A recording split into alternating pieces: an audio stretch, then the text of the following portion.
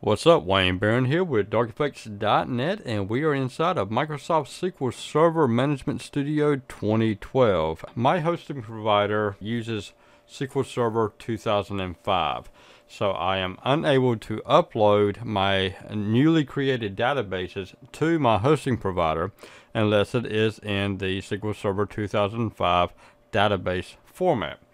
And so people that have this issue, uh, you can still use SQL Server 2012 or the most recent version of SQL Server. And what we're going to do is that we're actually going to create a script that will allow us basically export our data to where we can put it into any database that we want to put it in. So what we're going to do is that we're going to choose a small database. Let's grab a hold of this one right here. It's just got a couple of tables in it. We're going to right click on it. We're going to go to task then we're going to come down here to generate script. Once we open up this page, we're going to click on next. We're going to select our script entire database and all database properties. Click on next. Make sure that all of this is set right and then we're going to, it's going to overwrite the existing file that is already there. Click on the advanced. We're going to scroll down to right here. It says script for server version we're going to choose 2005. You can go all the way down to 2000. We're going to choose 2005 because that is the database that we are working with. We want to grab a hold of all of our schema and data. Then we come down here to the bottom, make sure this is set to true for our primary keys, our false is the trigger, and our unique keys are true. Click OK. Click on next and then we should have this information right here. It's going to be uh, located in our D profile document script. Click on next and it is going to generate our script.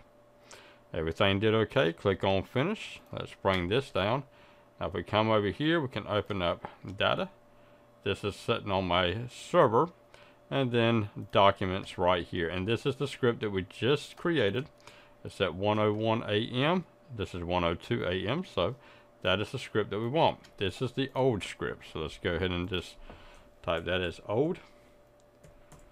Okay, now let's come over here, grab a hold of this script and move it over to my server.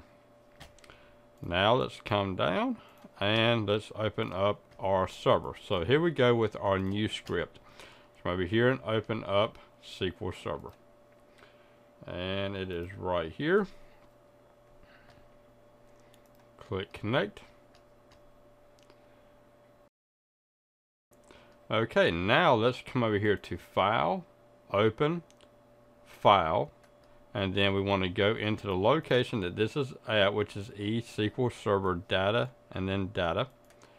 Over here to E, SQL Server Data, Data, grab a hold of this script,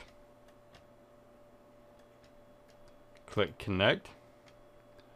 Let's move this out. Now, where we want to have this located at, we want to put this inside of this same area. So let's go ahead and just copy it. Come down here, start it right there and end it, paste, and then do the same thing here, paste. Okay, this is going to create it. See right here, create database media on primary. So now with that, let's go ahead and as you can see right here, we only have ask and spotlight. So now with this, let's choose execute. It should give us one error, should be all we get.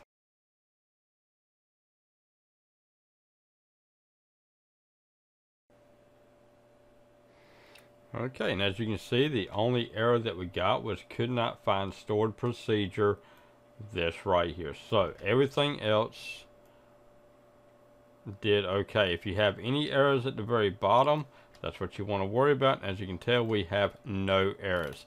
Now the only thing that I've got to do here is just take the file, the database file right here, and then upload this file to my hosting provider. Okay, Wayne Barron here with DarkFX.net inside of Microsoft SQL Server Management Studio 2005 and inside of Microsoft SQL Server 2012. Y'all have a good one now. Bye-bye.